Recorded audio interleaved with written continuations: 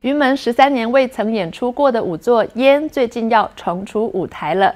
这个作品被瑞士苏黎世芭蕾舞团买下版权，这些年来在欧洲演出非常有名。不过林怀民说，因为在台湾太久没有演，感觉很像个新作品。《烟》有云门少见的华丽色彩和西方风格，以及轻快的华尔兹舞步，在林怀民的众多作品当中独树一格。作家普鲁斯特的《追忆似水年华》当中有一句话，有时会忽然想起某个春天所听到的一个名字，烟就试图以此出发，呈现出往事如烟，只剩惘然的感受。没有明显的故事情节，却有着云门少有的芭蕾舞风格，弥漫着一种迷离的神秘气氛。这是林怀民当年在欧洲连续公演三个月，见证了春天百花齐放，以及读完普鲁斯特名著《追忆似水年华》后创作诞生的一支舞作。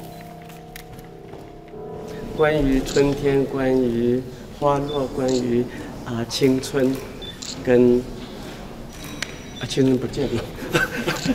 那些东西我都觉得呃很有趣，那个整个事情，大大概就是是，只是当时已惘然吧。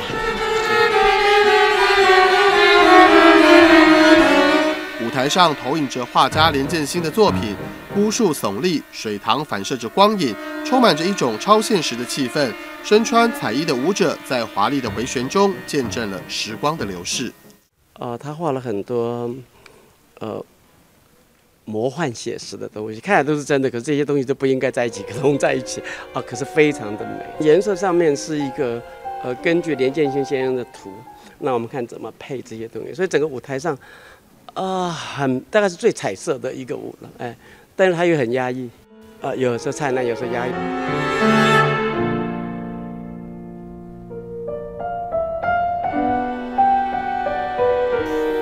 在俄国作曲家许尼克的音乐中起舞，林怀民说：“烟可以说是云门最西方的一支舞作，运用了大量的华尔兹舞步，风格十分的鲜明。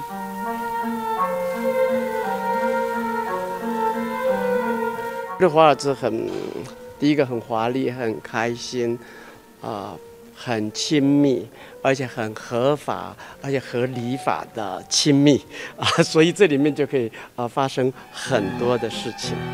回违十三年再度演出，烟呈现出云门少见的瑰丽色彩，营造出回忆跟遗忘的迷离境界，也让观众认识了不同的林怀民舞作。